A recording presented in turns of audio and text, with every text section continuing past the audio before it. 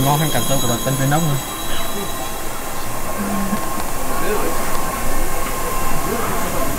ばっかり大きさで選ばないで形で選んで色と形ね Vsmart xin chào, chào mừng tất cả các bạn đã quay trở lại với Vsmart TV, kênh truyền thông đa ngôn ngữ lớn nhất tại Nhật dành cho người nước ngoài. Video hôm nay sẽ là một video vô cùng đặc biệt, đó là sự xuất hiện với đồng nghiệp của mình là thành viên của team Vsmart đến nhiều đến từ nhiều quốc gia trên thế giới.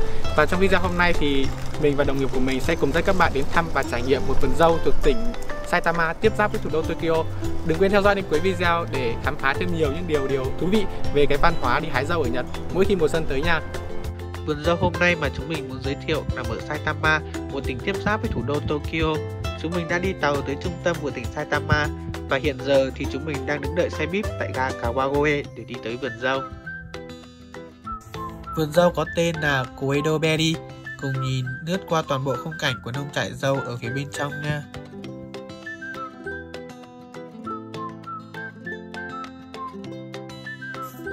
Và đây là hai bạn trong nhóm đi cùng mình của ngày hôm nay này.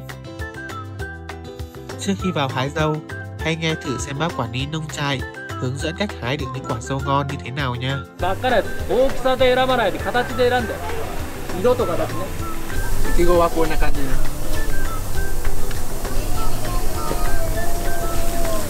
真っ赤で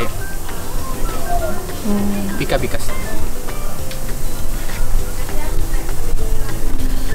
Đây là chị Kawashima, quản lý của mình. Kawashima sang đô desu ka? Aji wa? 味甘いです Còn đây là anh Oreo sang. 自己紹介お願いします。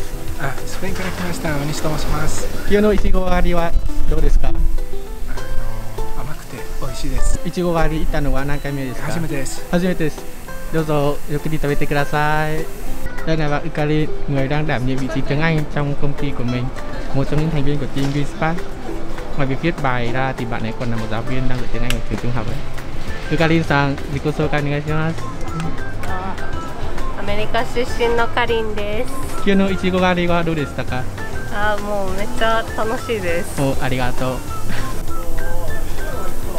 Đây là toàn bộ quang cảnh trong vườn dâu Vì đang là đỉnh điểm của mùa dâu lại cộng thêm với dịch Covid nữa nên là để đến được cái vườn dâu này thì chúng mình bắt buộc phải hẹn giờ.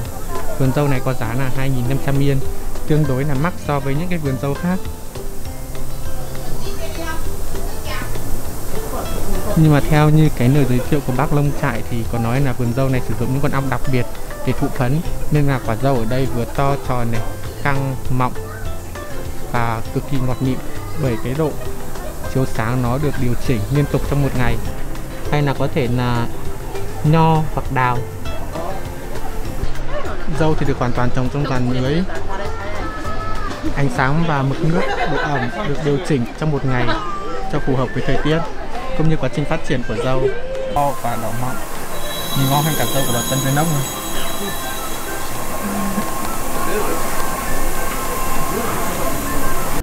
Ở Nhật, mỗi khi mùa xuân đến hay mùa thu về thì người Nhật thường có thói quen cùng gia đình đi hái dâu hô đài, tức là trả một khoản tiền rồi ăn thoải mái trong 1 đến 2 tiếng gì đó.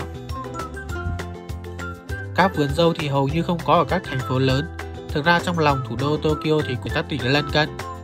Vườn dâu hôm nay chúng mình đã phải đặt trước ở trên mạng. Do hiện tại đang vào đỉnh điểm của mùa dâu với lại dịch Covid nữa. Vé vào vườn hôm nay là 2.500 yên cho một người, khoảng 500.000 Việt Nam đồng và chúng mình được ăn trong vòng 30 phút. Nếu muốn thay đổi vị giác, các bạn có thể mua thêm sữa đặc để ăn kèm tại quầy hướng dẫn. Tại đây, sau khi ăn xong, họ cũng bày bán những khay dâu được hái sẵn để mang về. Giá của một hộp dâu là 900 yên, tương đương khoảng 180.000 Việt Nam. Mặc dù so với siêu thị thì khá là đắt, nhưng vị của quả dâu mới được hái và được chọn lọc về độ ngọt như thế này thì chắc chắn sẽ không làm bạn thất vọng đâu. Các bạn thấy video trải nghiệm ngày về hái dâu của ngày hôm nay như thế nào ạ? Nếu có cơ hội đến với nước Nhật Bản thì đừng quên một lần đến với những cái nông trại ở các cái thành ở vùng quê này để một lần trải nghiệm hái dâu.